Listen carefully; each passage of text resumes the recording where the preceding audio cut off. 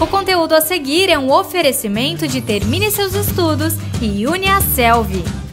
Prepare-se para o Enseja 2020. Boa aula!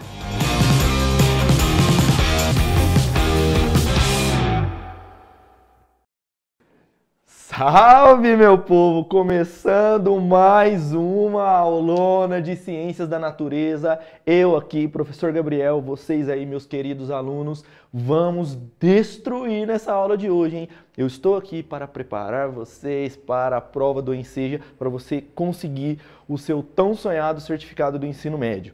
Lembrando que essa maratona do Termine Seus Estudos só é possível pelo apoio da galera lá da Uniaselv. Uniaselv, Estamos juntos, hein? Muito obrigado pelo apoio. Lembrando que você pode entrar em contato aqui com o, Pro, com o Prof e com a nossa equipe sensacional, mandando mensagens, mandando a sua foto, mandando aquilo que você gostaria. Só não vai mandar nudes aqui, isso aqui não, pode, certo?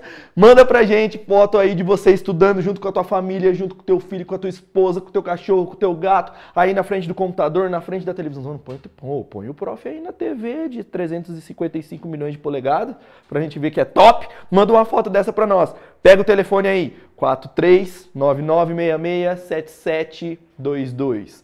4399667722. Lembrem-se que aqui no no vídeo, na descrição desse vídeo, você tem o link que você vai acessar o curso gratuito do Termine Seus Estudos da Maratona TE, que é durante o mês todo de abril. Então você clica no link, se cadastra para você fazer todas as provas que tem lá dos simulados, para você pegar o conteúdo, o resumão de cada aula e para você concorrer, tá bom? Então você vai concorrer a 10 vaguinhas de um curso particular com os seus professores do Termine Seus Estudos e também vai conseguir entrar aí numa disputa para três bolsas de estudos na Uniaselv para os cursos de ensino à distância, tá bom? Então, não deixe de se cadastrar, clica no link aí depois, se cadastra se você ainda não está cadastrado para você testar os seus conhecimentos dessas aulas que você está assistindo agora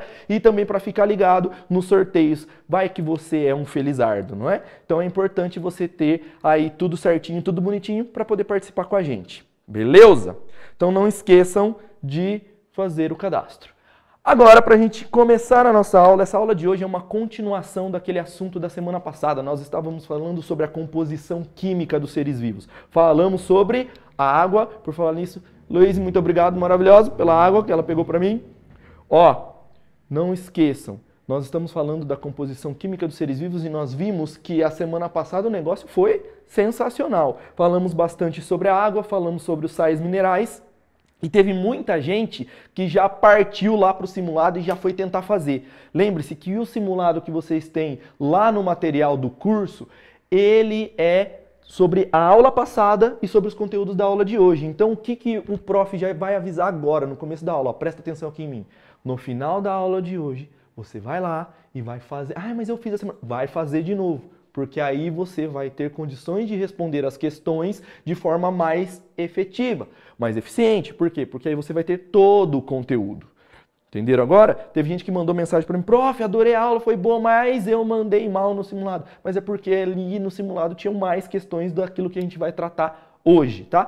Prof promete que hoje vai tentar segurar a língua e falar um pouco menos, ser mais sucinto, tá? Eu, eu vou prometer, mas é difícil, né? Que a gente se empolga.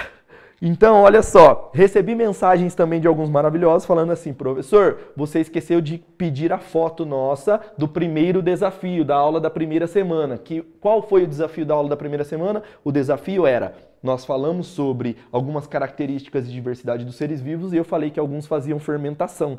E aí pedi para vocês tentarem em casa, junto com a família aí, fazer o processo de fermentação, fazer a fermentação de um bolo e fazer um bolo, experimentar a fermentação de um pão e fazer o pão. Se você, maravilhoso, maravilhosa, fez o pão, fez o bolo tirou a foto, manda aqui para nós que eu quero mostrar a foto do teu pão e do teu bolo aqui para mostrar que você faz ciência e às vezes nem sabe o que está fazendo, certo? É isso.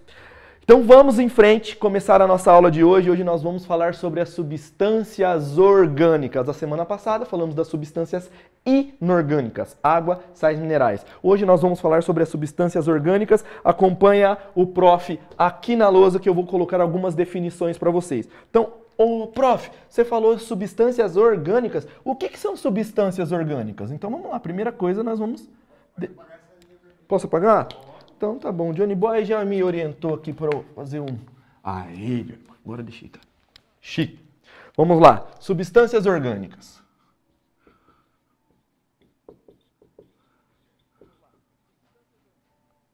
Orgânicas. Pega o seu caderno aí, anota junto aí com o prof. Professor, o que, que, são substâncias orgânicas? As substâncias orgânicas são aquelas moléculas que são formadas principalmente por átomos de carbono. Então aqui, ó, compostas por carbono. Lógico que tem outras substâncias, tem outros elementos químicos, mas ela tem uma cadeia, um esqueleto carbônico que a gente chama, tá? E, além disso, nós podemos dizer também que as substâncias orgânicas naturais são aquelas que são sintetizadas pelos seres vivos, certo? Tanto os animais, como os vegetais, como outros organismos. Então, sintetizadas pelos seres vivos. Vou pôr assim, ó, para não ficar um nome estranho. Produzidas pelos seres vivos. Professor, mas tem substâncias orgânicas sintéticas? Tem. A gente consegue aí produzir em laboratório, produzir nas indústrias substâncias com cadeia carbônica, que é orgânica, mas não é natural, é sintética. Mas definição de substâncias orgânicas produzidas pelos seres vivos, compostas basicamente por átomos de carbono, a cadeia, o esqueleto central é feito de carbono. Tá bom, professor, e quem são essas substâncias orgânicas? Ah, agora sim. Então vamos lá. Quem são as principais substâncias orgânicas? Número 1, um, nós temos os carboidratos. Carboidratos. Vou parar aqui e já vou pedir a participação de vocês comigo aqui, ó. Vamos lá. Então, em casa com a família, tá todo mundo aí bonitinho, sensual, gostosinho. Então, vai o seguinte: o que é o que é um carboidrato? Você sabe o que é carboidrato? Então, manda pro prof aqui nos comentários para que, que serve o carboidrato. Me dá um exemplo de carboidrato e para que, que serve o carboidrato para você. Fala aí pro prof. Vamos lá. Aqui, ó, vamos lá. Manda um abraço para Recife. Abraço para Recife. Aqui, a galera já mandando.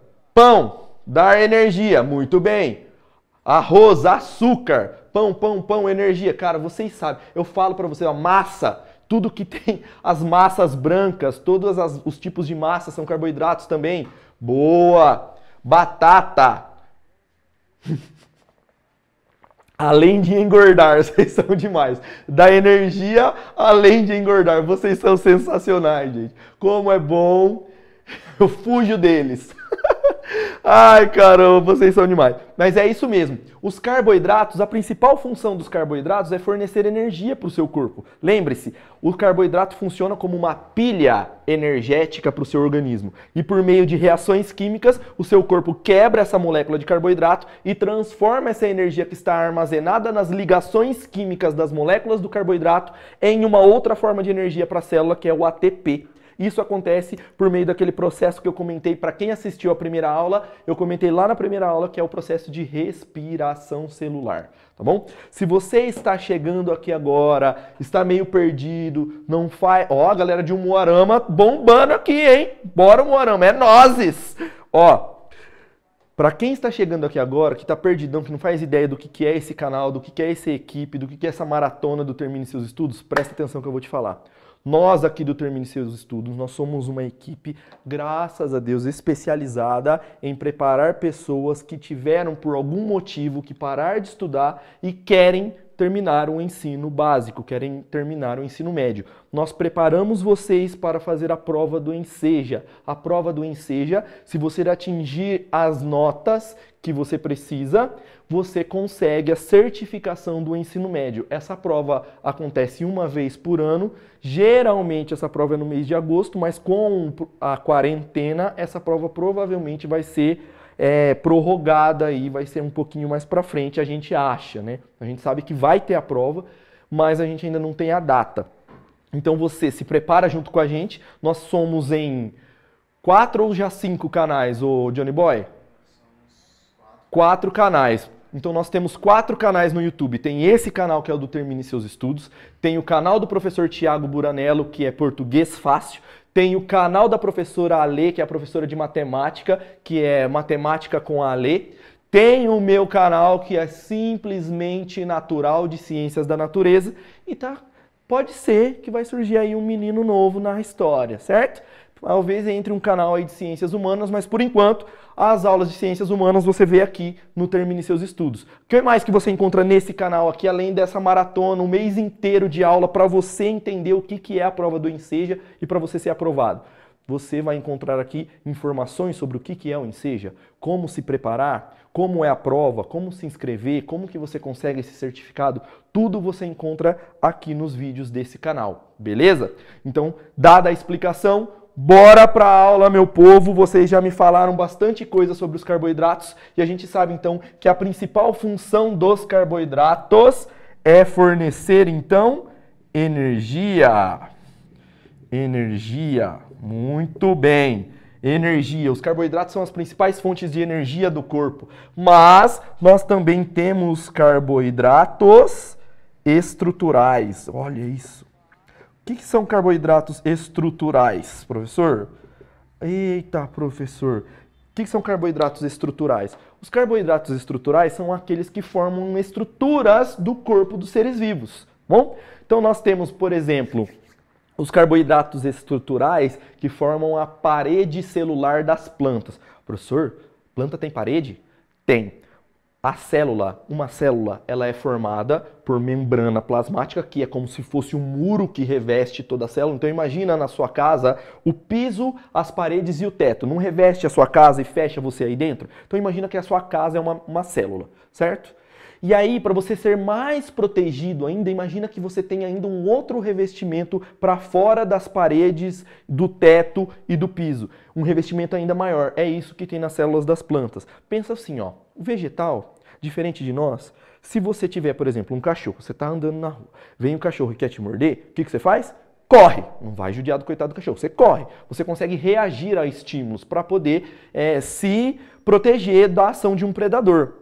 E uma planta? A planta não consegue. Por quê? Quando a planta é, ela acaba sofrendo a ação de um predador, ela não vai, né? Imagina a planta arrancando a raiz do solo e dando a bicuda no coitadinho do cachorro. Não, ela não vai fazer isso. A planta não tem essa capacidade de reagir a estímulos ambientais como a gente. Ela reage a estímulos ambientais, mas não como nós. Então, para que a planta consiga se proteger ainda mais, isso um exemplo, tá? Mas que para que a planta consiga ter proteção maior, então ela tem um revestimento a mais nas suas células, que é a parede celular. A parede celular dos vegetais é feita de um tipo de carboidrato chamado de celulose. Ah, vai falar para mim que você não sabe o que é celulose. Fala para mim aqui, ó. Vai, vai, vai, vai, vai. Manda aqui para mim de novo, ó. Eu quero que vocês mandem para mim para que que serve a celulose. Vamos lá. Vamos lá, vamos lá, vamos lá. Manda pro prof. Para que, que serve a celulose?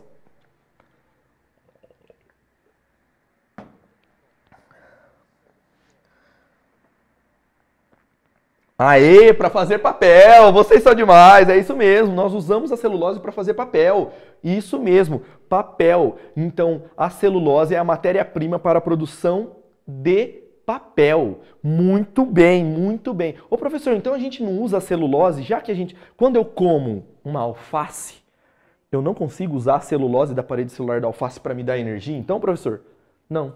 Por quê, professor? Porque nós não temos ferramentas no nosso sistema digestório para quebrar a celulose. Eita, professor, como assim quebrar? É, a celulose é uma molécula de carboidrato grandona, muito grandona. E a gente precisa deixar ela bem pequenininha para poder entrar na nossa célula. Mas nós não temos as picaretas, as ferramentas necessárias, os martelos, as marretas fortes para quebrar a celulose.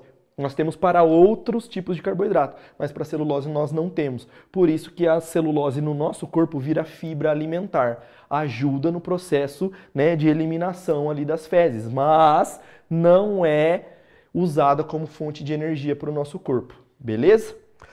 Galera de, Ma... oh, galera de Marília também mandou mensagem. Sim, conheço Marília sim, já fui em Marília algumas vezes. Fui levar meus alunos do ensino médio para fazer vestibular aí na FAMEMA.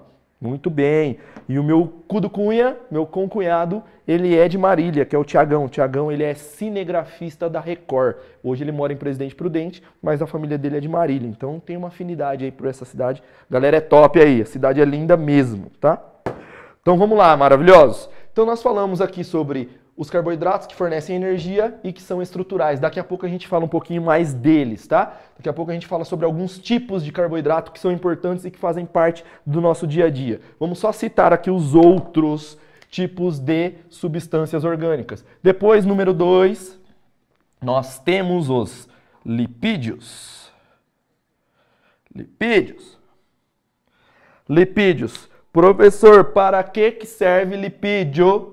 Para que serve lipídio? Ó, galera de Paraguaçu, galera de Rio Preto, sensacional. Paraguaçu, meu pai é nascido em Paraguaçu Paulista. Rio Preto, fui muito para Rio Preto, participava com a galera da Canção Nova aí dos acampamentos. Nossa, fui muito, muito, muito. Cascavel, beijo para Cascavel também. Fiz um ano de faculdade aí na Unioeste. Top, Cascavel é top. Gosto muito. Ah, agora aí vocês já me quebraram, ó. Rondonópolis. Rondonópolis é da hora, Natal, aí, esses, aí eu ainda não fui. Rondonópolis eu quase fui no acampamento aí com a galera, mas não deu. Natal eu queria ir, mas não dá, né? Natal é top. É, então, um dia quem sabe. Olha lá, Guarapari. Meu, vocês são muito chiques, só tem gente da hora aqui, ó.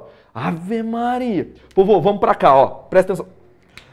Agora está na hora do mantra, porque vocês não podem se desconcentrar, ficar digitando o nome da cidade. Presta atenção aqui no prof. Qual que é o mantra do nossa, da nossa maratona? Quando a gente se dispersa, vamos, é para a gente lembrar do que, que a gente vai fazer e por que, que nós estamos aqui estudando. Ó. Bora terminar, terminou. Faz de novo aí. Bora terminar, terminou. Volta aqui com o prof. Lipídio. Maravilhosos? Lipídios, para que, que serve? Hum? Lipídios. Os lipídios a gente chama popularmente de gorduras e de óleos, tá? Para que, que servem os lipídios? Olha só. Ai, professor, lipídio serve só para me engordar e me deixar com pânceps. Lógico que não. Os lipídios são, olha só, os lipídios, eles são muito mal vistos mas eles são extremamente importantes. Então a gente tem que tomar esse cuidado de tratar eles com carinho, porque o seu corpo precisa muito deles, tá? Então eu vou colocar aqui basicamente a função dos lipídios, ó, ó, reserva energética,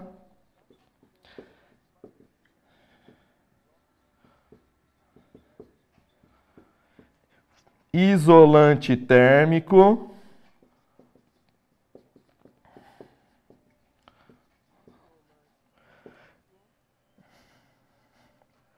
Ó, ó. Hormônios sexuais. Eita, professor, essa aula tá pornográfica. Claro que não. Pode deixar as crianças aí. Fiquem tranquilos, nós não vamos falar besteira. Isso aqui, ó. Vem com o prof, vem com o prof.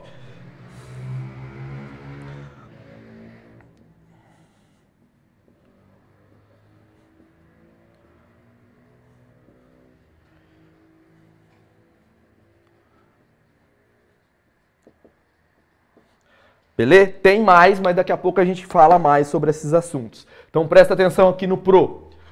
Os lipídios, quais são as principais funções de lipídios no nosso corpo? Vocês viram que eu pus até mais do que de carboidratos, né? Sabe para quê? Pra gente perder o preconceito com esses caras. Então, ó, os lipídios servem como reserva energética. Todas as vezes que você come muito carboidrato, agora nós podemos discutir isso aqui. Johnny Boy, presta atenção aqui em mim.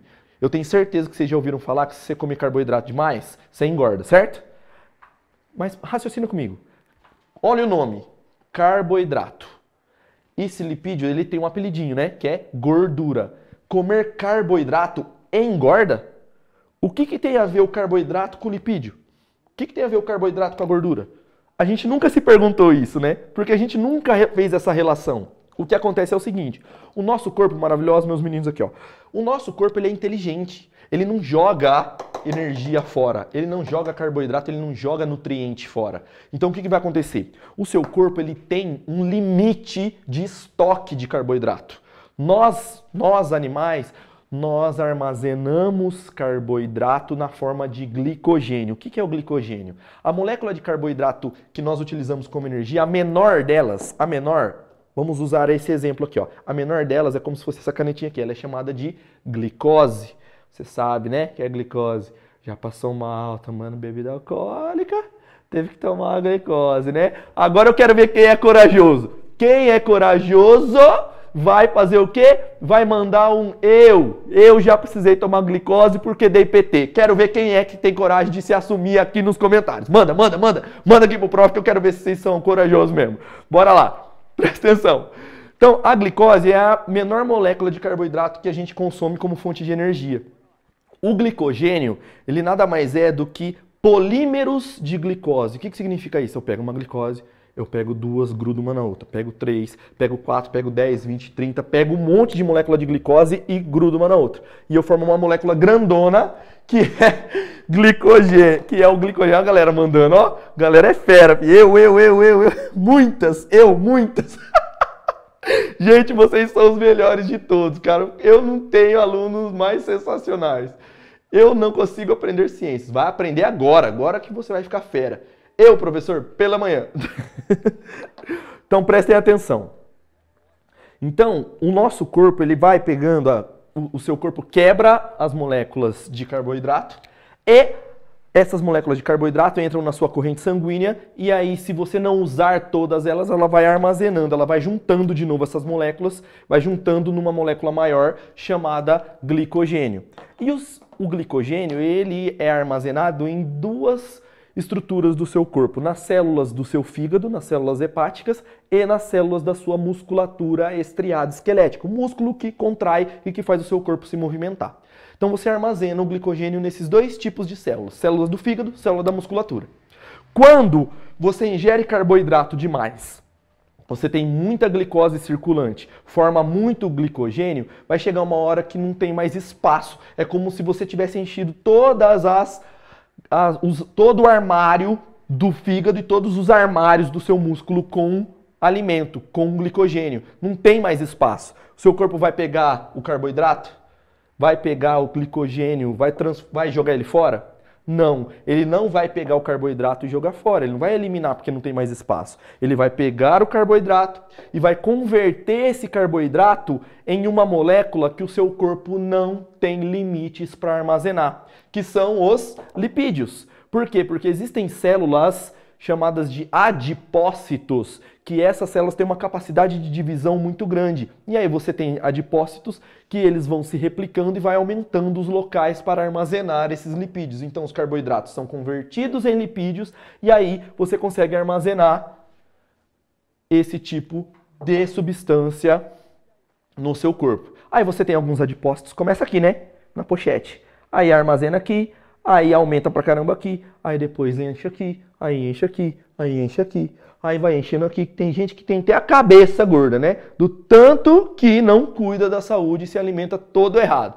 Então a gente tem que entender que essa ideia de comer carboidratos e engordar exatamente isso que acontece. Se você comer em excesso, seu corpo não usar isso para produzir energia, o seu corpo vai pegar o excesso e transformar isso em lipídios e vai armazenar nos adipócitos. Lembrando que os adipócitos é igual a zoeira, não tem limites.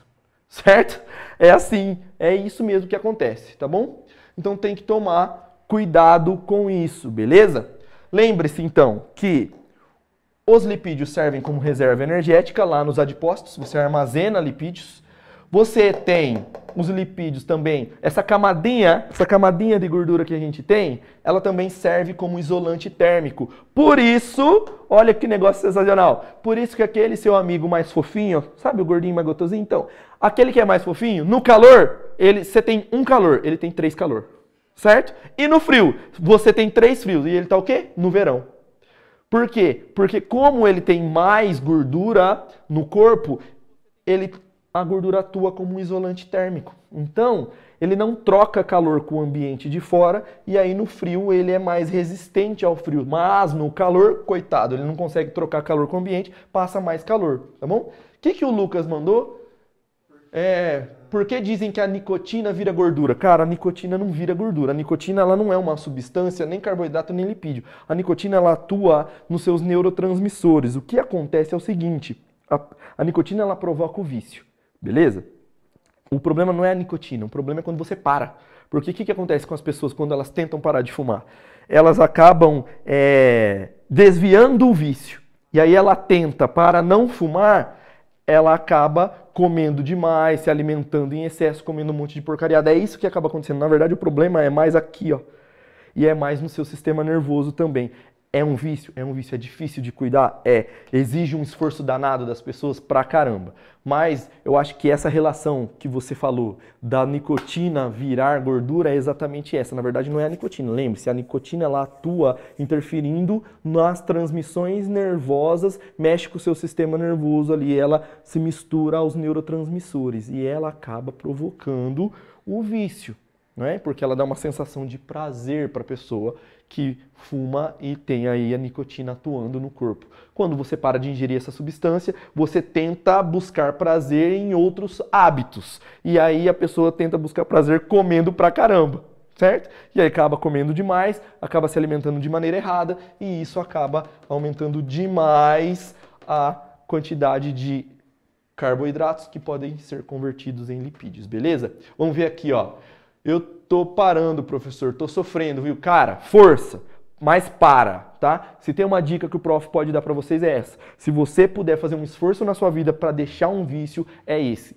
Para de fumar, meu. Esse negócio é complicado. Eu já perdi três pessoas da minha família, tá? E tem uma outra que teve sequelas sérias, teve câncer na boca, bababá. Aí não é brincadeira, tá? Eu tenho porque a fam... eu sei porque eu passei por isso dentro de casa, então tem que tomar muito cuidado. Muito cuidado. O cigarro não é brincadeira, tá? Mas vamos falar de coisa boa, meu povo. Vamos falar de coisa boa. E é isso aí. Então vamos lá. Os lipídios também atuam como hormônios sexuais. É, exatamente. Os seus hormônios sexuais, os hormônios esteroides. Os hormônios esteroide, esteroide é um tipo de lipídio. E os hormônios esteroides os principais são os hormônios sexuais: estrogênios, progesterona e testosterona. Estrogênios, progesterona, hormônios sexuais femininos e testosterona, hormônio sexual masculino. Portanto, se você não se alimenta de fontes saudáveis de lipídios, você não vai ter lipídio para ser usado na síntese dos seus hormônios sexuais. Aí a galera reclama porque não está muito legal. Então é muito importante a gente entender que os hormônios sexuais, eles não dão só as características secundárias sexuais masculinas e femininas, eles atuam no metabolismo do corpo como um todo, influenciam em outras características também. E aí, às vezes, a gente está passando por uma situação onde o nosso corpo não está muito legal, a gente não consegue ganhar peso, não consegue perder peso, a gente não consegue, o cabelo não está legal. Às vezes é uma alimentação desregrada, tá? Você aí magricelo pra caramba, querendo ganhar massa muscular, aí não come direito. Se não come direito, não produz testosterona. E aí a testosterona não estimula a síntese de proteínas nos seus músculos, você não hipertrofia a musculatura. Então tem que tomar muito cuidado. A gente precisa deixar de ter preconceitos com os lipídios e tratar esses caras bem, porque eles são necessários para nós. Outra função dos lipídios, eles atuam. Olha, professor, que palavrão! Nunca ouvi falar disso. Aqui, ó. Fosfolipídios de membrana. Eita, professor, que palavrão!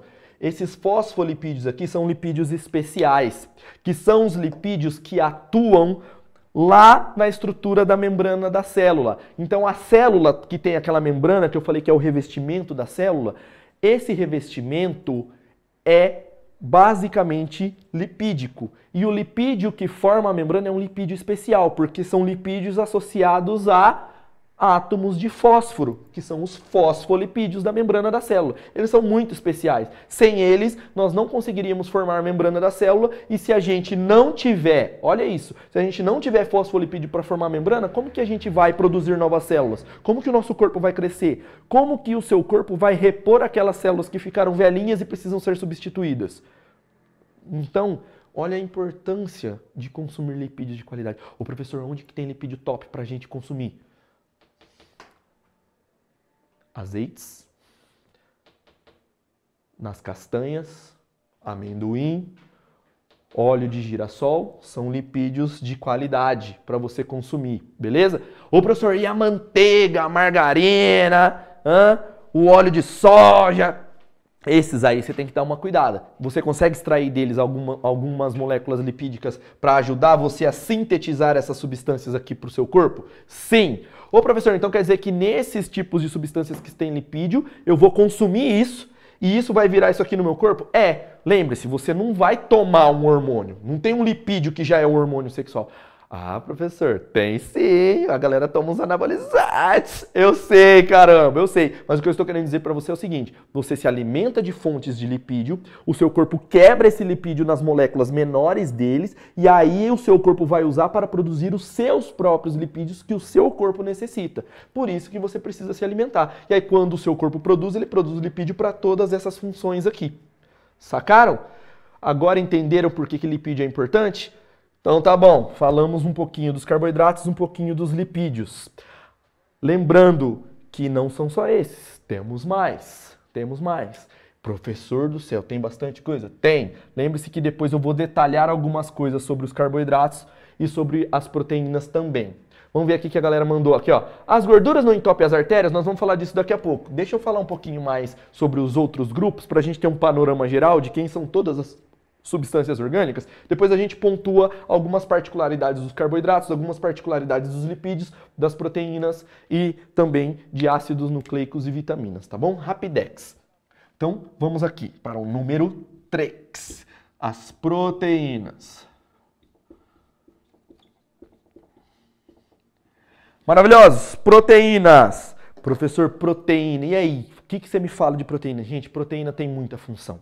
As proteínas, elas são as moléculas que têm maior quantidade de funções dentro do nosso corpo. É mesmo, professor? É mesmo. Hum. Nós temos muitas proteínas no organismo. Então, nós, inicialmente, vamos lá, ó, inicialmente. Aí, era isso que eu ia perguntar. A galera já manda na lata antes de mim, olha lá, ó.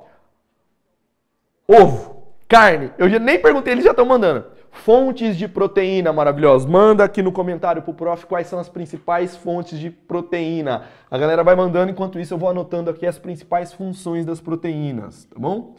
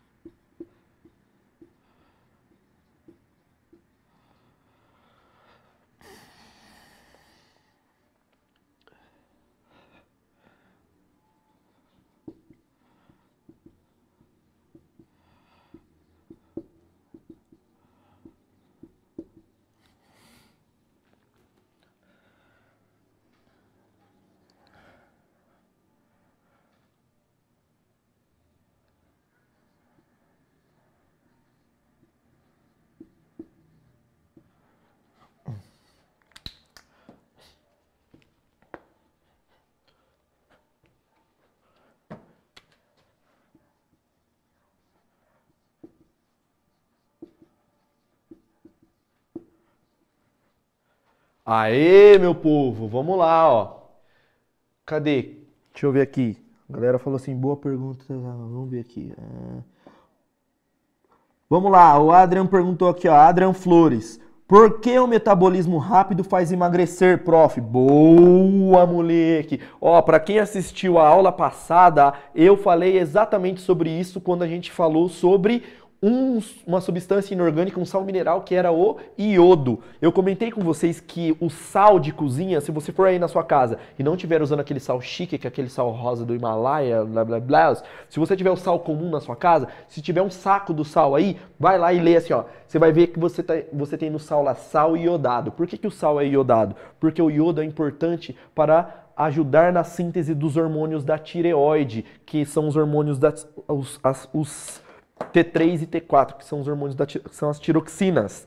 E a tiroxina é um hormônio que aumenta a taxa metabólica. Então, olha só, ele fala assim, ó, professor, é, deixa eu só retomar aqui a pergunta dele, caramba, aqui ó. Por que, que o metabolismo rápido faz emagrecer? Então, pessoas que têm um metabolismo acelerado geralmente está associado com vários fatores, né? Por exemplo, na adolescência, quando você ainda está em desenvolvimento, o nosso corpo acaba produzindo mais hormônios e você tem um metabolismo mais acelerado.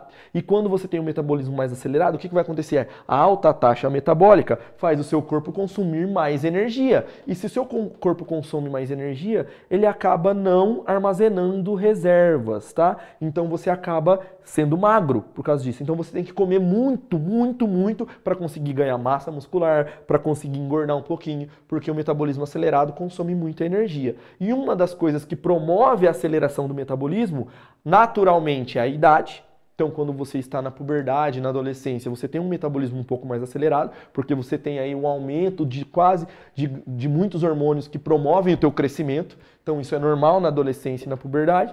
Agora, quando nós estamos falando de um distúrbio metabólico, aí é quando o cara tem problema na produção do hormônio. Quando o cara tem hipertireoidismo, ele produz muitos, muito hormônio da tireoide, que é, é o hormônio que estimula o metabolismo. Então, como ele acaba produzindo muita tiroxina, ele acaba estimulando o metabolismo e fazendo com que o metabolismo fique acelerado, por isso que esse cara é magro, tá? Ele é magro, ele tem os olhos estalados, assim, ó. O bicho é correria, come até pedra, morde até parede e não engorda. Diferente do cara que tem o processo contrário, ou seja, ele tem hipotireoidismo. Esse cara tem um metabolismo mais baixo e aí ele acaba respirando, respirou engordou. Por quê? Porque como o metabolismo dele é mais lento, então ele consome menos energia, acaba acumulando muito mais e aí ele acaba Cadê?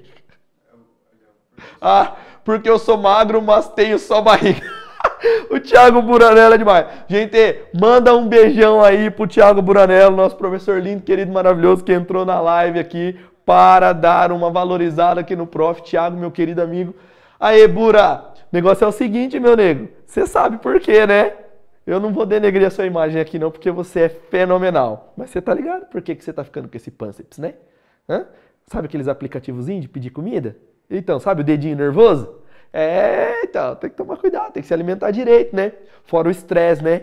A gente acha que não, mas o estresse, ele acaba produzindo hormônios no nosso corpo que atrapalham demais a taxa metabólica e fazem com que a gente dê uma bagunçada mesmo no metabolismo e acabe acumulando mais gordura, tá? Então o estresse também, às vezes a gente acha que estresse é tá bravão, tá nervosão. Não, o estresse ele somatiza no nosso corpo de outras formas principalmente liberando alguns hormônios que não são muito favoráveis a nós e acabam permitindo com que o nosso corpo acumule mais gordura.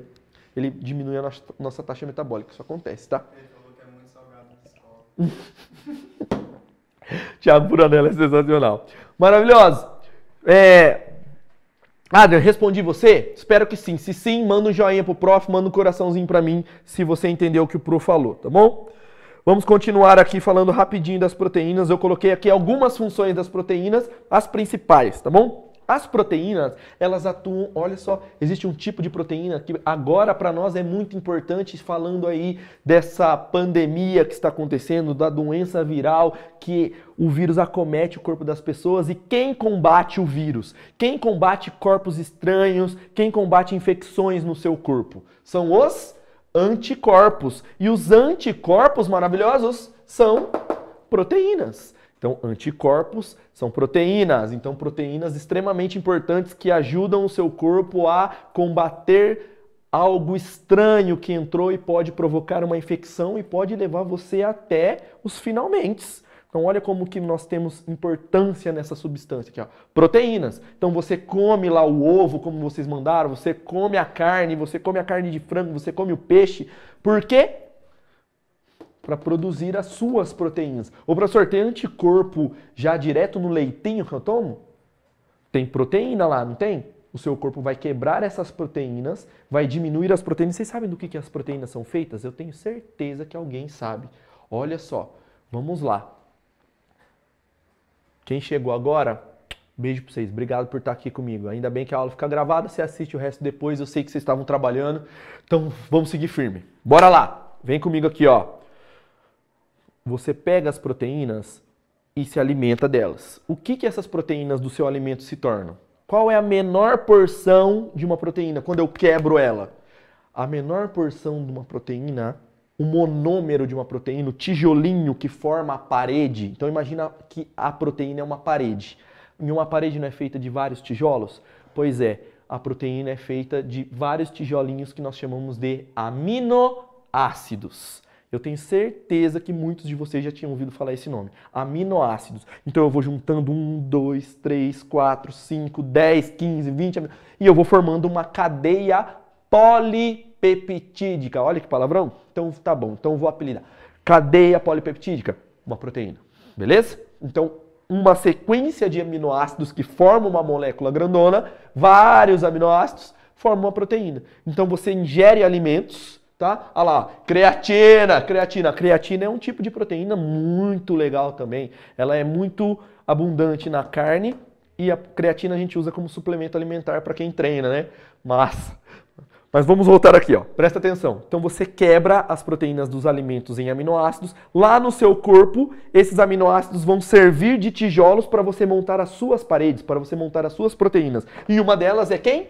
Os anticorpos. Os anticorpos são proteínas que o seu corpo forma para combater corpos estranhos, para combater infecções, para combater o vírus, combater o coroninha. Por isso que muitas pessoas, muitas pessoas estão entrando em contato com o vírus, estão se contaminando e o corpo delas está produzindo anticorpos para combater o vírus. Combate o vírus e, na glória do Senhor, elas se curam e, graças a Deus, voltam para casa. Beleza? É isso que acontece quando você tem um organismo saudável que não está com nenhuma deficiência no sistema imunológico. O sistema imunológico dessa pessoa é estimulada pela infecção do vírus a produzir anticorpos. Produziu o anticorpo, que é uma proteína, esses anticorpos começam a auxiliar no combate ao vírus e aí essa infecção ela é eliminada do corpo.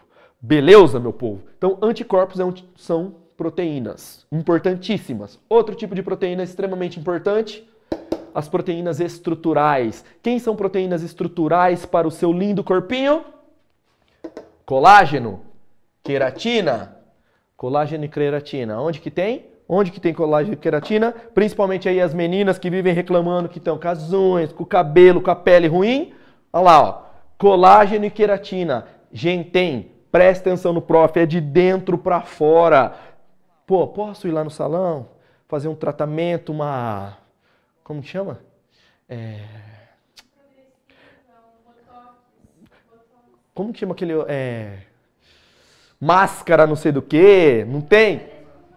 Isso, é, as máscaras agora, elas é tipo um botox, botox capilar, você faz aquelas máscaras, aí tem aqueles produtos à base de colágeno e de queratina pro seu cabelo. Vai funcionar? é. Vai funcionar pro seu ego, para você ir no salão, você sai de lá mais maravilhosa do que você já é. Se os meninos fazem também, vocês saem de lá mais maravilhosos do que vocês já são também, óbvio.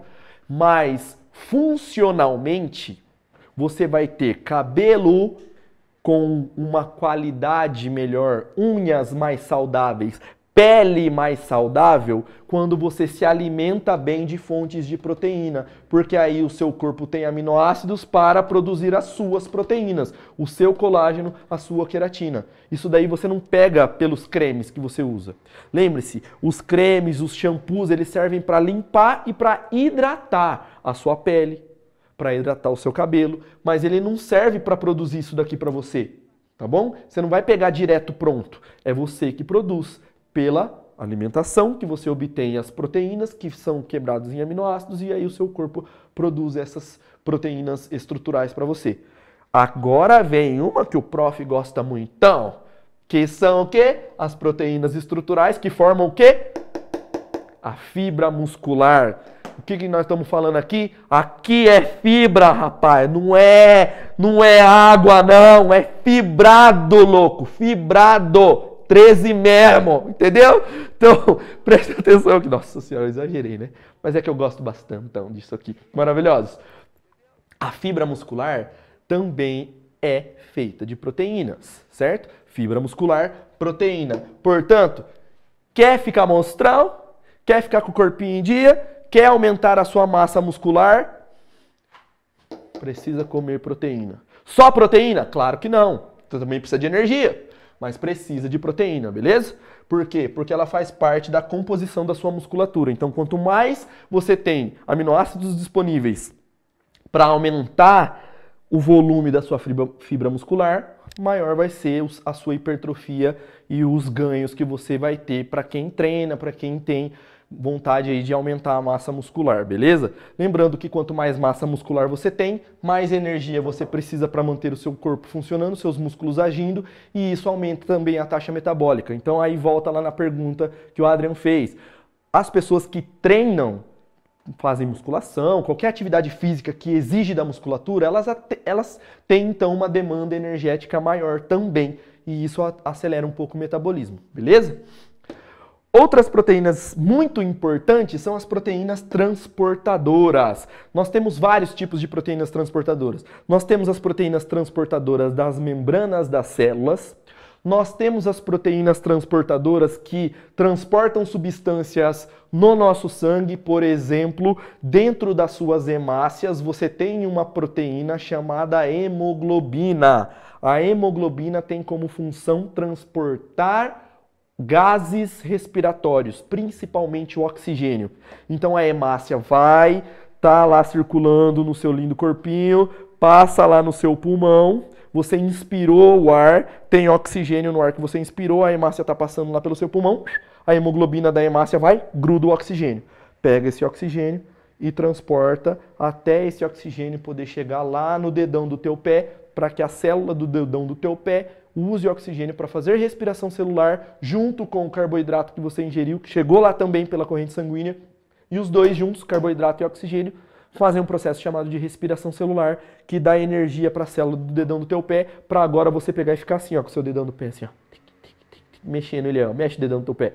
Então, isso aconteceu porque você inspirou o ar e porque você comeu carboidrato, seu corpo metabolizou isso, transformou esse carboidrato em uma molécula bem pequenininha que pode ser transportada pela sua corrente sanguínea para lá no dedão do teu pé.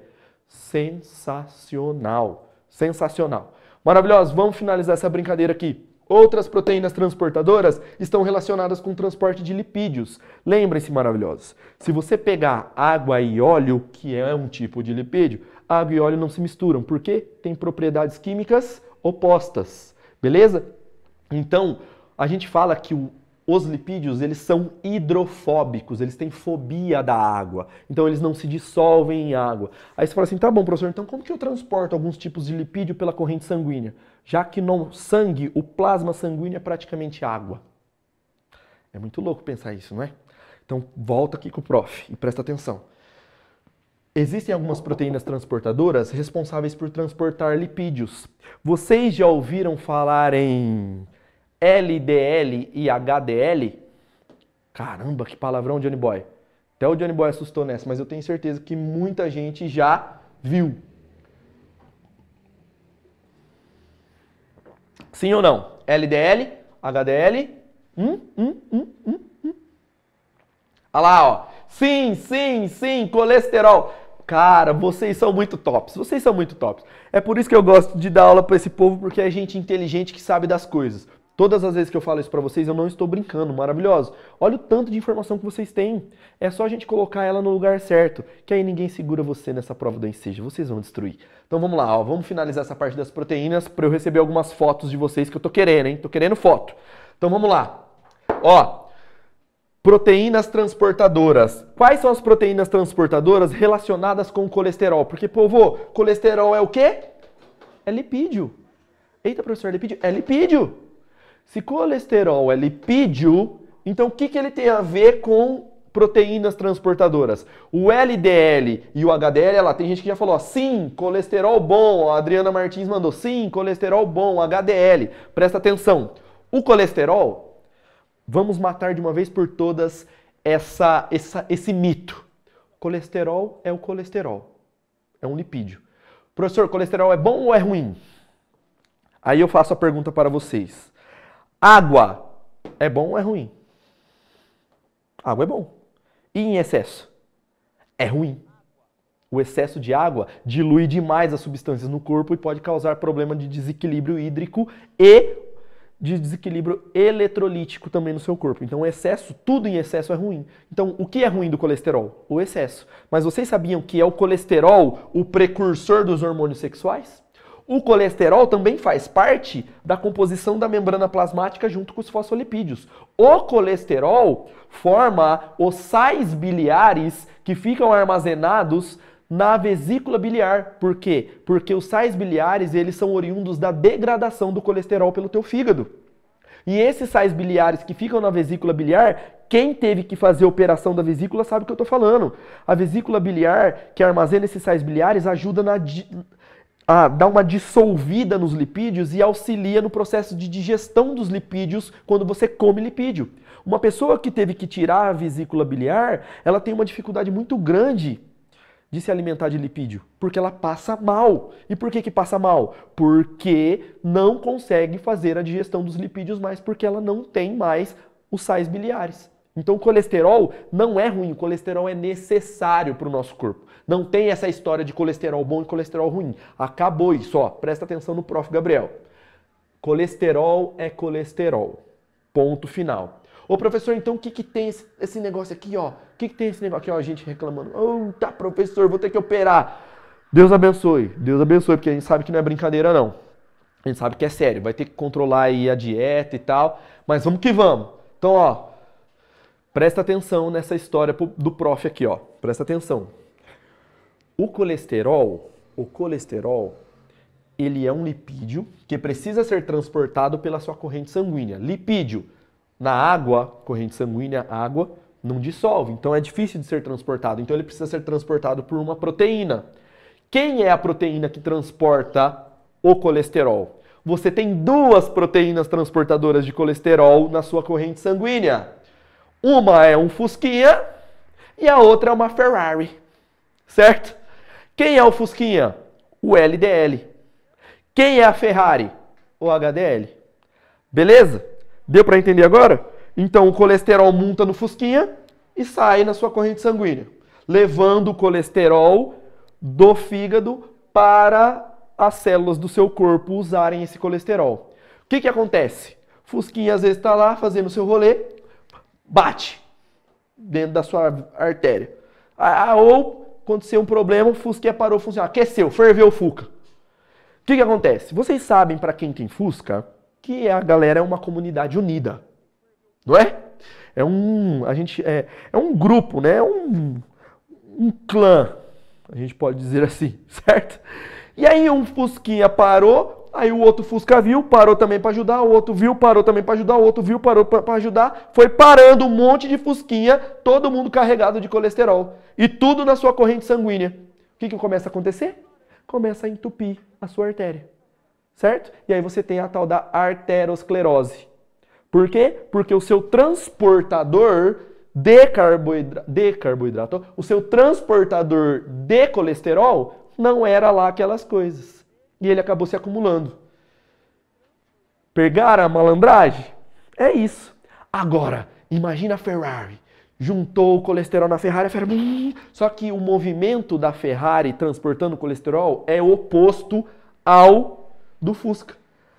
A Ferrari vai pegar o colesterol da corrente sanguínea e vai devolver para o fígado, para o fígado metabolizar e eliminar o excesso de colesterol. Então, quando você tem bastante HDL, o seu corpo está protegido de acumular muito colesterol na corrente sanguínea. Porém, quando você tem muito LDL, você corre o risco do quê? De acumular esse colesterol na sua corrente sanguínea, nos seus vasos, e isso pode provocar o entupimento do vaso. entupiu, o sangue não passa, não vai oxigenar, não vai passar nutrientes para suas células e as suas células podem morrer por falta de oxigênio, por falta de carboidrato, de energia. Deu para entender, maravilhosos? Deu? Prof, preciso guardar tudo isso para o Enseja e Enem?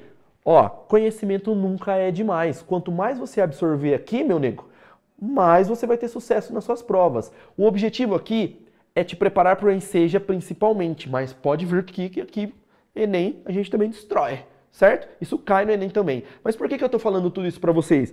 Por que, que é provável eles perguntarem alguma coisa sobre colesterol, HDL e LDL? Porque é uma coisa que acontece no seu dia a dia. Esse tipo de assunto tá rolando o tempo todo. Por quê? Porque as pessoas têm hábitos alimentares ruins, acumulam muito colesterol e isso causa problema de saúde. Então, esse tipo de informação é um tipo de informação que é importante você armazenar. Por quê? Porque provavelmente é um assunto que possa cair numa prova para você, porque é conhecimento para a vida, é conhecimento que você vai usar para cuidar da sua saúde, para cuidar da tua família, para orientar o teu filho, para orientar sua esposa, o seu marido. Pegaram? A galera mandando, ó, eu tenho um Fusca. Vocês são demais. Maravilhosos. Beleza? E para finalizar as proteínas e eu receber as fotos para a gente dar uma relaxada, as enzimas. Enzimas são as proteínas do nosso corpo que atuam como mediadores de reações químicas. As enzimas, elas são como se fossem as ferramentas de uma fábrica. São elas que vão quebrar moléculas maiores, são elas que vão unir moléculas e formar novas, são elas que vão mediar as reações químicas que acontecem dentro da célula. As enzimas não posso, ó, vou apelar. As enzimas são as proteínas necessárias para que uma célula funcione. Ou seja, na minha humilde opinião, se eu tiver que manjar de proteína, eu quero manjar de enzimas, porque as enzimas são necessárias para o funcionamento da célula, já que as enzimas atuam como mediadoras de reações químicas, beleza? A gente fala que elas são catalisadoras de reações químicas. Então as enzimas estão relacionadas com quebra e formação de moléculas dentro das células, importantíssimas no processo de metabolismo celular e da manutenção do metabolismo do seu corpo. Enzimas são sensacionais. Beleza, meu povo? Galerinha, bora então? Hora do print da tela, né? Deixa eu ir pro lado de cá. Que daqui a pouco nós vamos continuar e falar de algumas particularidades dessas coisas aqui. Então vamos lá. Print na tela junto com o prof em 3, 2, 1, agora. Printou? Beleza? Foi? Lindo, maravilhoso? Podemos então pegar algumas fotinhas? Então bora lá. Vamos mandar a foto aqui pro prof. Foto, foto, foto, foto, foto, foto, foto, foto, foto, foto.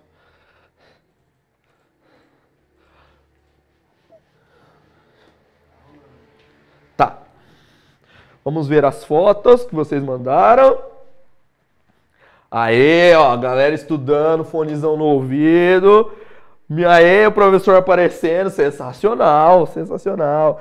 Galera com seus seres vivos, com seu cachorrinho, olha lá na frente do computador, os meninos mandando ver. Olha lá, ó o sal, ó o sal iodado, mandaram para nós o sal iodado, vocês são demais da conta. Caderno anotando tudo.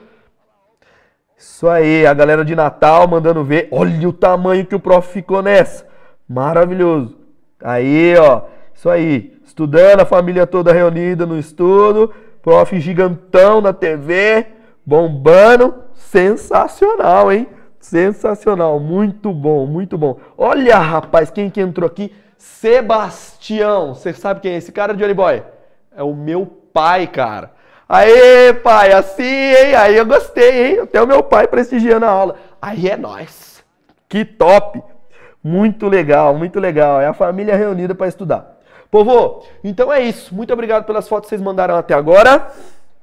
E estão curtindo? Estão achando top? Aprenderam bastante? Eu tenho certeza que tudo isso que a gente falou aqui, ó, vocês já sabiam, não sabiam? Vocês só não tinham assim, às vezes a gente não relaciona. Mas tá vendo como que o prof falou? Nós fazemos ciência o tempo todo. Só basta a gente enxergar isso no nosso dia a dia. Tá tudo bem até agora? Conseguiram entender aquilo que a gente comentou até aqui? Então, Johnny Boy, vamos fazer alguns exercises com esses meninos? Vamos botar uma questãozinha aí da aula passada para a gente retomar o assunto sobre a água aí. Aí, ó, a galera mandando abraço pro meu pai. Massa, gente, massa. Muito obrigado pelo carinho, hein? Ô, a Lê tá aqui? É, nada. Eu tô muito fera hoje. Gente, beijão pra Lê, essa maravilhosa, mitando na matemática. Você quer aprender matemática? É com a Lê, meu. Entra no canal da Lê, se inscreve lá se você ainda não é inscrito em Matemática com a Lê, porque ela é absurdamente top. Ela é muito fera mesmo. Tanto é que eu mesmo assisto as aulas dela porque eu curto matemática. E eu assisto mesmo porque eu gosto. Meu, entra no canal da Lê, porque ela é maravilhinda, tá bom? Entrem lá. E quem tá aqui, manda um coraçãozinho, manda um beijão pra Lê, porque se vocês sabem o carinho que ela tem por todos vocês e o tanto que ela se preocupa em formar vocês bem para vocês destruírem na prova do Enseja em matemática também. Ale, valeu pela moral, hein? Entrou aqui na live, tô com muita moral. Buranelo, Ale, só tá faltando o Paladino entrar agora na minha live. Hum, aí sim, hein? Povo, Aí, ó, os coraçãozinhos pra ler aí, Ale, é todo céu. É nóis. Povo, vamos resolver algumas questões então pra gente retomar. Na aula passada, nós falamos sobre água e sais minerais, certo? Então hoje nós vamos resolver uma primeira questãozinha retomando essa ideia aí. O Johnny Boy vai fazer o milagre da colocação da questão para a gente poder resolver junto aí. Enquanto isso, o prof vai pegar a questão aqui também.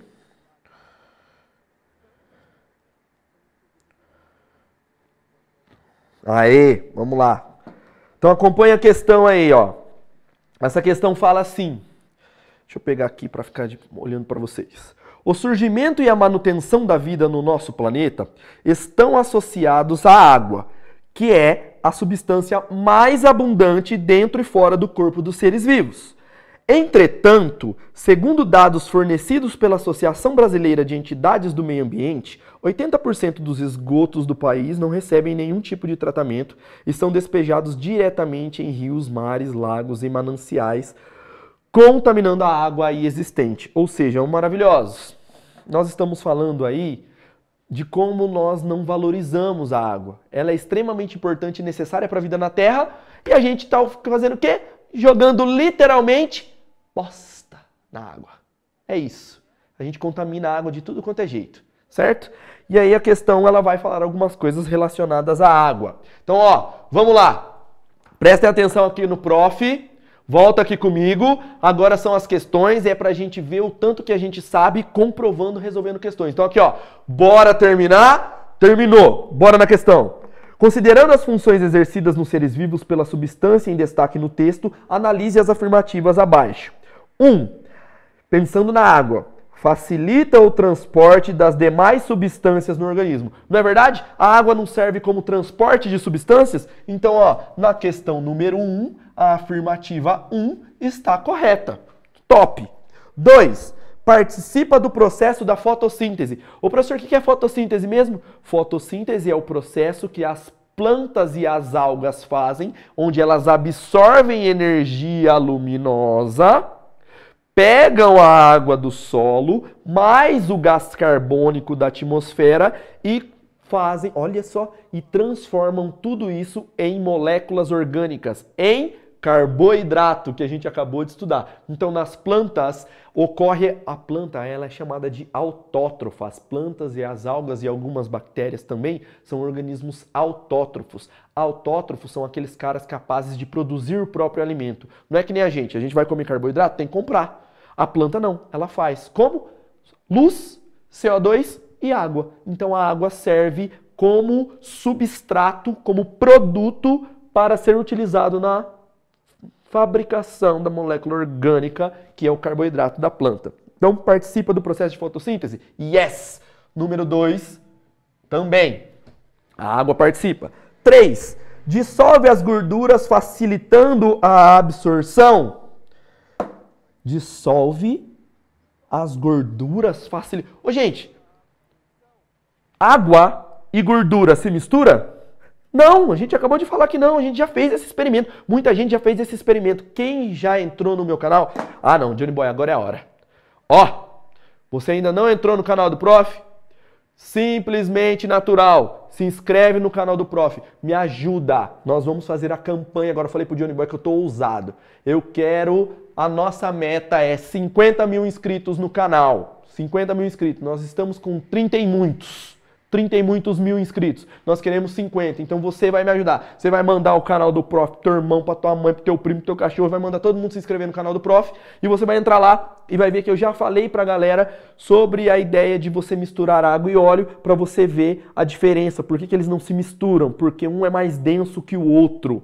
E aí a galera me mandou um monte de mensagem, foto do experimento que eles fizeram. Então a gente sabe que água e óleo não se mistura. Portanto, a número 3 tá fora. Então, três fora. Por enquanto, um e dois. Vamos para quatro. Auxilia na manutenção da temperatura do corpo. Oh, maravilhosos. Aí você zoou, né? Nós não falamos isso na aula passada? Quando você aumenta demais a temperatura corporal, o seu corpo faz o quê? Você transpira e aí a água, quando evapora, leva o excesso de calor embora. A água tem aquela propriedade de alto calor específico, é muito difícil você variar a temperatura da água. E o corpo dos organismos, as nossas células são basicamente constituídas de água. Então, como a água tem uma a água não sofre tanta variação na sua temperatura, ela auxilia na manutenção da temperatura do seu corpo. Portanto, a número 4, pô, top. 4, top. 1, 2 e 4, qual é a alternativa correta? 1, 2 e 4. C. C, D, Caramba, vou passar no Enseja. Um C. Muito bem. Uma galera já tinha mandado a C aqui, ó. C, C, C, C. Vocês são muito tops, muito tops. Então é isso. C. Agora, você vai pegar aí. Você vai pegar o seu celular. Você vai entrar aí na frente da sua televisão, do seu computador. E você vai tirar uma selfie. Você vai tirar uma selfie e vai fazer e vai marcar o Instagram do prof arroba simplesmente natural underline. Você vai marcar o Instagram do prof e você vai meter a hashtag aqui, ó. Hashtag 50k, que é de 50 mil 50k. Beleza? Para que o nosso canal chegue a 50 mil. E também vai marcar a hashtag maratona T. Marca o prof no Insta, 50k. Manda pro teu amigo mandando se inscrever no meu canal. Manda pra tua irmã, pro teu pai, pro teu primo, pro teu cachorro, pro teu gato, pro teu passarinho, para tuas plantinhas, para todo mundo. Printa aí, pode printar mesmo pelo celular, printa, pode printar. Beleza? A carona do prof. Manda marcando o prof e manda também aqui pra gente mostrar suas fotos aqui de novo, pra gente finalizar a aula de hoje, beleza? Então vai lá. Coisa linda, hein? Fechou? Vamos para a próxima questão, Johnny Boy, que aí já é conteúdo da nossa aula de hoje.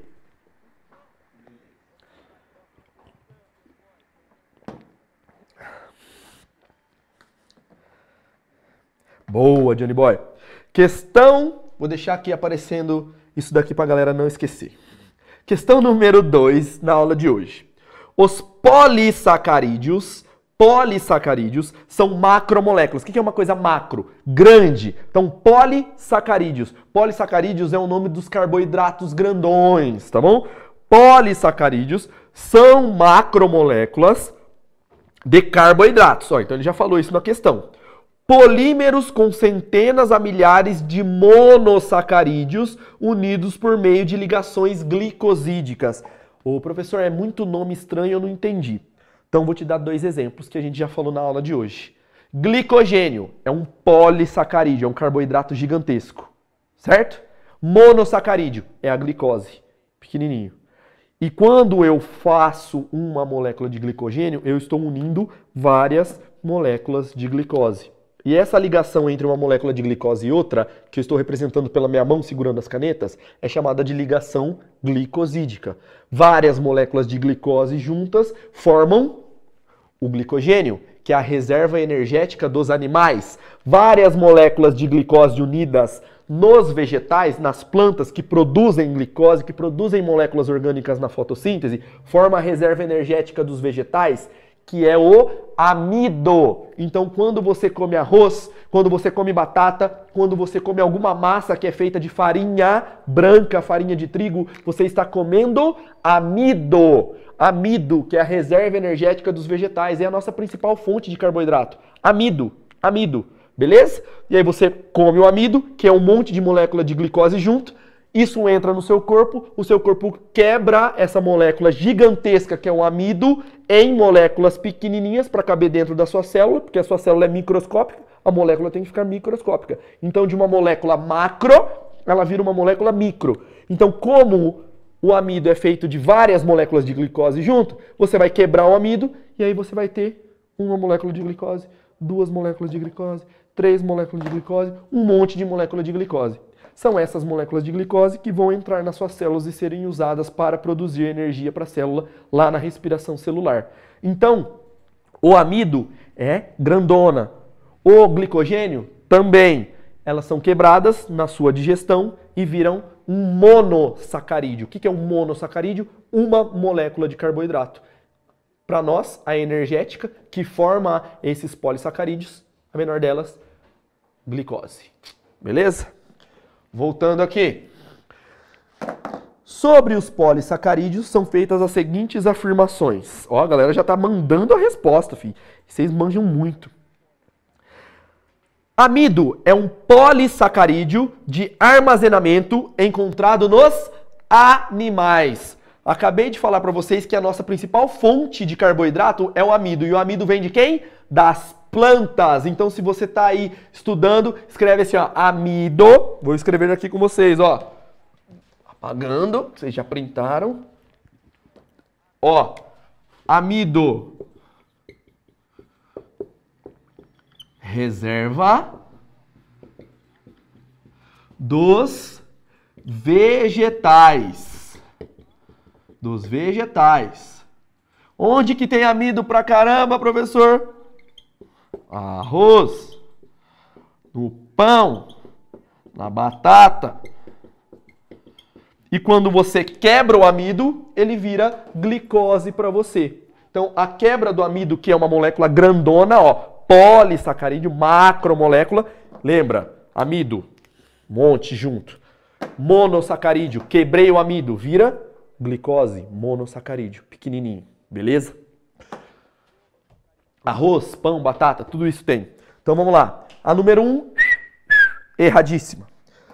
2. Os vertebrados armazenam glicogênio principalmente nas células do fígado e dos músculos. É, é, é, nós somos vertebrados? Sim, nós temos coluna vertebral. Olha lá, os animais vertebrados armazenam glicogênio. Sensacional. Onde? No fígado e no músculo. O prof falou isso para vocês agora há pouco na aula. Caramba, parecia que nós estávamos adivinhando que ia perguntar na questão, hein? Não é, gente. É que isso são, essas informações são básicas. E você tem que saber. Sensacionablers, hein? Então, essa está correta. Número 2, correta. Vou até pôr colorido aqui, ó. Número 2. Então, na questão 2, a número 2 está correta. 3. O exoesqueleto dos artrópodes é formado por quitina, que é um polissacarídeo com função estrutural. Eita, professor! Essa tava difícil, hein? Tava. E é por isso que eu coloquei essa, porque vocês têm que, ah, que conhecer algumas outras coisas. Eu não falei para vocês de carboidratos que também eram estruturais? Qual foi que o prof falou na aula? Manda aqui para mim, manda rapidão aqui para mim. Qual foi, qual foi o carboidrato estrutural que o prof falou na aula de hoje? Vocês lembram? Vou dar uma dica, vou dar uma dica. É de um organismo verdinho. Faz parte da estrutura da célula. E aí, vamos ver. Vamos ver quem manda aí.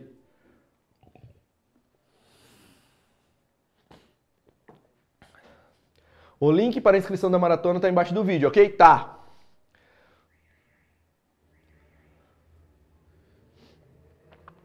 Celulose! Aê! Muito bom, muito bom! Isso, ó. Tem celulose na parede celular das células vegetais, lá do alface, igual a Monique mandou também. Boa, Márcio. Márcio mandou benzaço, hein? É isso mesmo. A celulose. A celulose é um tipo de carboidrato estrutural. E a quitina também é. Então aqui nessa número 3, ela fala do exoesqueleto. O que é uma coisa exo? Ó, vamos por partes maravilhosas. Tá vendo como vocês manjam? Ó, exo é fora, esqueleto. Então é como se fosse uma armadura.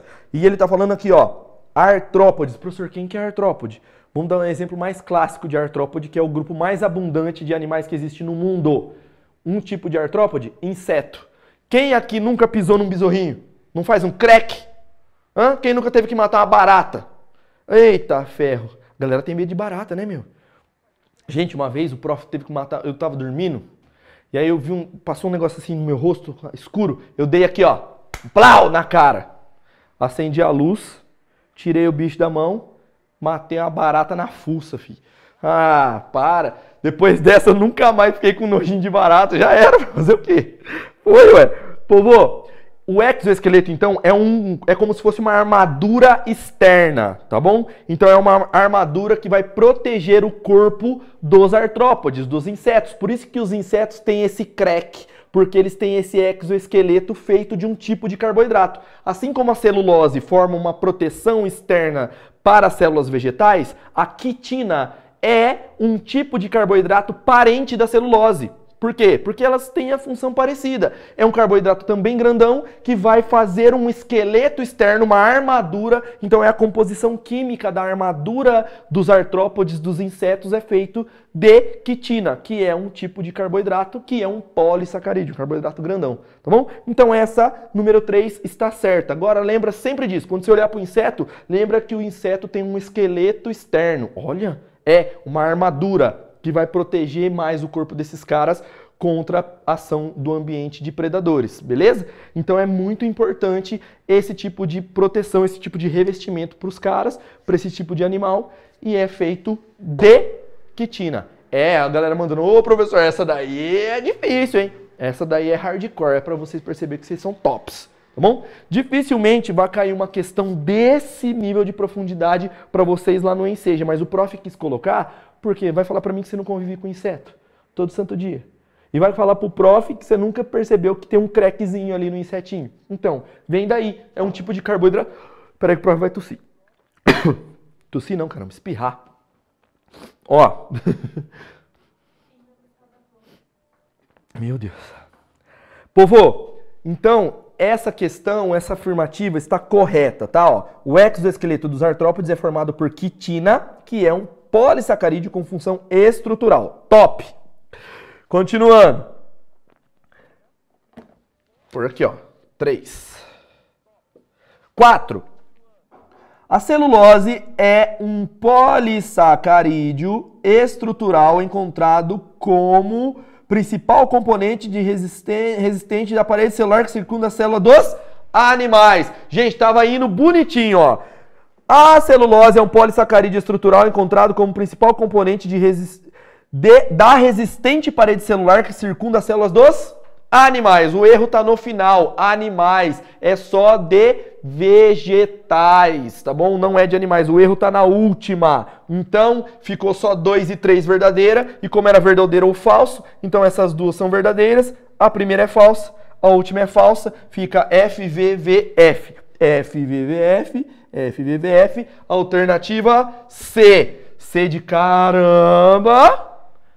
C de Cristo. Me abençoe que eu vou passar nesse ensejo. É isso mesmo, gente. Muito bem. Letra C. C. C. C de 50 mil inscritos no canal do Prof. É isso que eu queria, Alec doido. C de 50 mil inscritos no canal. Vai ajudar ou não vai? Então entra lá depois, simplesmente natural, e já manda um recado no último vídeo falando pro Prof. Ei, Prof, eu vim por causa da Maratona TE. Vou mandar meu pai, minha mãe, meu irmão, meus cachorros, todo mundo se inscrever no canal também, porque nós estamos juntos e é nós. Bora pra última? Vamos resolver a nossa última questão da aula de hoje para você ir lá e destruir na atividade do curso gratuito do TE, que tem aí o link na descrição do vídeo para vocês. Beleza? Bora para a última, Johnny Boy?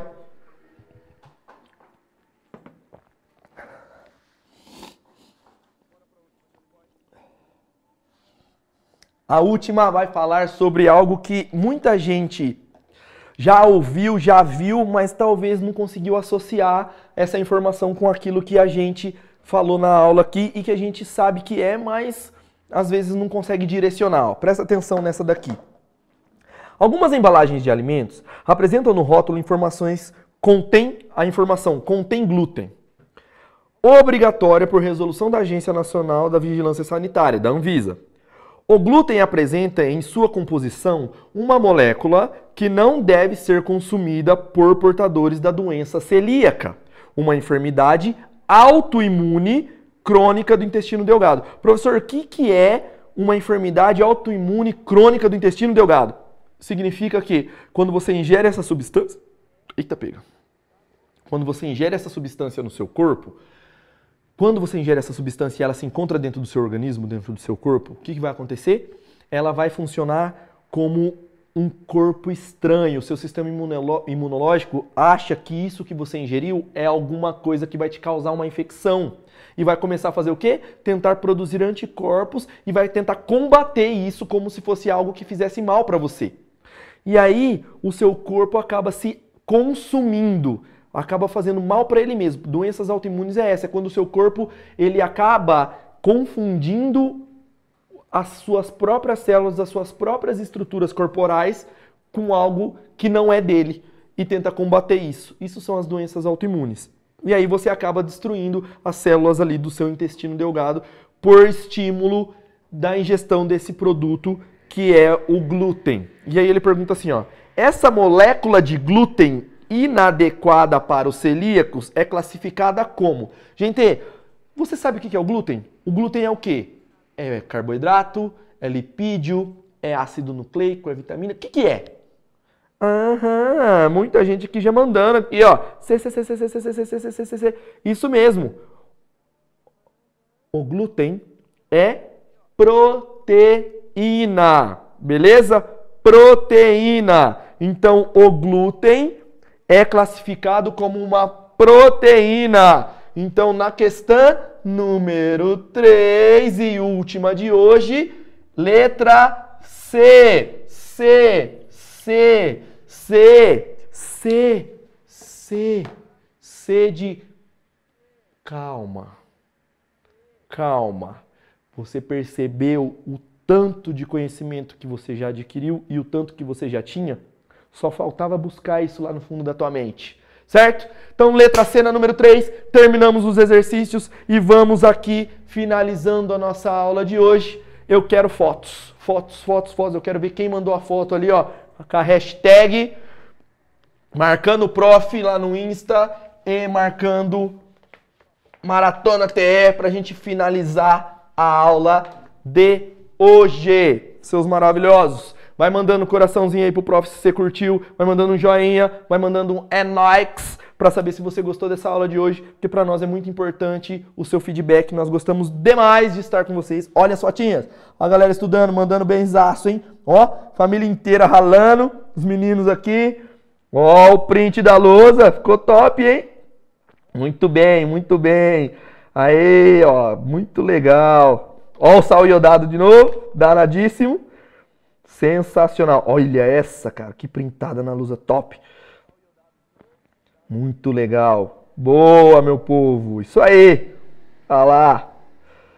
Olha que maravilhosa. Cadernão, anotando tudo. Assim que eu gosto. Muito bem, muito bem, muito bem. Povo, que legal, que legal que vocês mandaram as fotos aí, ó. Carona do prof aparecendo ali. Muito bem. Gente do céu, vocês são doidos. Não assusta com essas caretas que o prof faz, não. Ai, ai. Muito bem, meu povo. Então é isso. Essa aula de hoje era para falar um pouquinho mais agora sobre as substâncias orgânicas. Falamos das inorgânicas na aula passada, falamos sobre as principais orgânicas nessa aula. Vocês têm mais conteúdo sobre isso no portal do Termine Seus Estudos. Você tem o curso gratuito lá. Então entra no curso gratuito, clica aqui no link que está na descrição do vídeo, se cadastre concorra às 10 vagas do curso com os seus professores aqui do TE e a 3 bolsas de estudo na Uniaselv nos cursos à distância. Por favor, não deixe de se cadastrar, você tem atividade para resolver lá. Agora, aquela galera que fez atividade a semana passada, pega agora, faça de novo que você vai ver que vai mandar muito bem nesse simuladão de novo. Então, refaçam a atividade, refaçam o simulado, que você vai perceber que vai mandar muito melhor do que foi a semana passada, porque agora você já está manjando de todo o conteúdo. Beleza? Povo, junta a família aí, quem tá aí do seu lado, bora, bora, bora, pega todo mundo, pega todo mundo que tá aí, vou esperar, porque eu quero receber fotos disso no Instagram de vocês fazendo junto comigo. Vamos lá. Juntou a família inteira para a gente finalizar a aula hoje junto, naquele clima de saber que nós vamos buscar o nosso certificado do ensino médio e que vocês vão destruir em prova de ciências da natureza. Então, bora terminar essa aula? Bora terminar junto com o prof? Então vamos lá. Bora terminar. Terminou. É nóis. Essa aula, bora terminar junto com o prof? Então vamos lá. Bora terminar. A aula de hoje foi um oferecimento de Termine seus estudos e Uniaselv. Bons estudos!